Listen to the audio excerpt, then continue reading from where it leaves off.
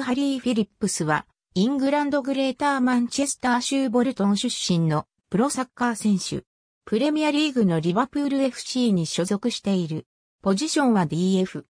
ユース時代をボルトンワンダラーズ FC で過ごし、2016年にリバプール FC と契約。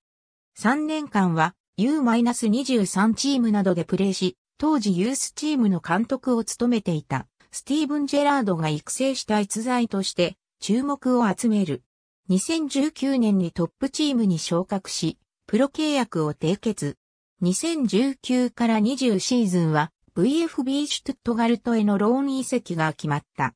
同シーズンは2部リーグでプレーし、リーグ戦9試合に出場していたものの、所属元のリバプールに負傷者が続出した関係で、2019年12月28日に急遽復帰が決定。2020年1月6日の FA カップのエバートン FC 戦の招集メンバーに選出され、加入したばかりの南野拓らと共に先発出場。試合は1から0の完封勝利でトップチームデビューを飾った。その後1月13日に再度シーズン終了まで VFB シュトゥットガルトへローン移籍されることが発表された。